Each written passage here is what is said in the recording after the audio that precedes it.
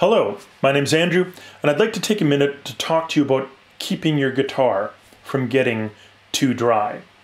This is uh, my guitar, and I keep it moist with a couple of simple do-it-yourself tools that are very inexpensive. I used to have a Larrivee, and it was a beautiful guitar. I loved to play it, but I didn't take care of it. And after a short period of time, a couple of years living in Alberta where it's very dry, I started to get cracks in the face of my guitar, and they ran from just under the bridge all the way out to the edge, a huge big six inch crack in the middle of my guitar. And the first time I noticed this, I was distraught.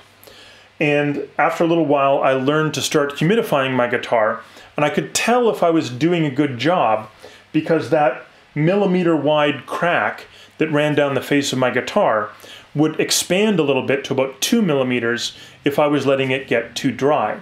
And if I had it humidified enough, it would close right up and you could hardly tell that it was there unless you knew to look for it.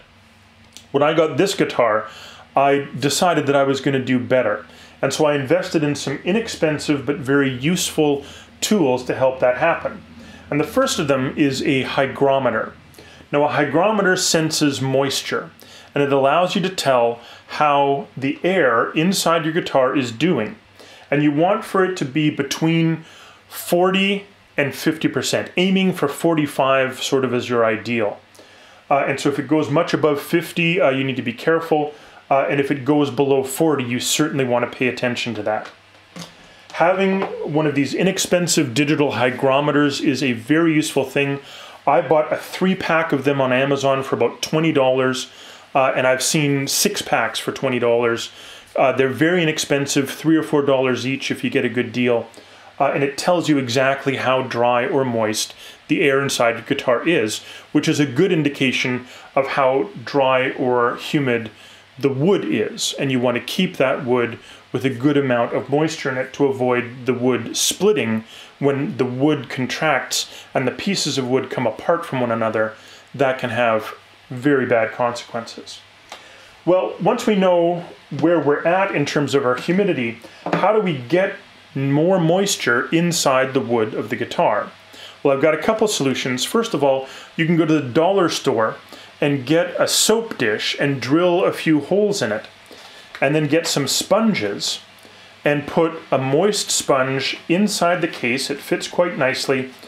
Cover it up, and then I tuck one into the, the, the gap that the cutaway in my guitar leaves, and I put a second one underneath the head of the guitar, and that provides plenty of moisture for the exterior and the neck of the guitar, making sure that they don't dry out. But what about the interior of the guitar? I used to have a, uh, a, a humidifier that would go down in between, in a plastic case with a sponge inside, between the strings of the guitar, and keep the interior of the guitar, which is not covered with finish, and so it's the easiest place for water to propagate throughout the wood of the guitar. And so I found some mesh bags that are made of just a plastic, and you can find these on Amazon. I got a 10 pack of them for about $20, making them about $2 each.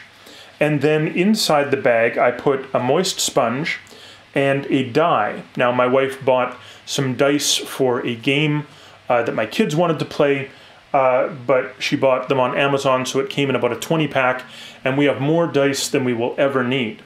And so I use this, but you could use a, a small smooth rock or something else and just tuck the mesh bag in beside the strings and then use whatever little object you have to tuck between the strings, allowing you to, to not have the, the bag fall all the way through into uh, the, the body of the guitar because every guitar player knows how annoying it is to have to try to fish something out of the interior of your guitar. When you're preparing the sponge to go into one of these cases, you want to dip it in water or run it under a tap and squeeze it a bit to make sure that the water gets all the way through the sponge. And then you want to completely wring out the sponge, getting all the water out of it that you can. You don't want water dripping out of the plastic case onto the guitar or inside of the guitar. That can do damage. Make sure that the sponge is moist, but as dry as you can make it by wringing it out completely. And so, with some very inexpensive and simple objects, you can keep your guitar humidified and have a much better solution for determining whether your guitar is moist enough or not, rather than just paying attention to whether the cracks open wider or close shut. With a little bit of time and effort, you too can protect your guitar and keep it in good working condition. Thanks so much for watching. I hope this was helpful. Have a great day.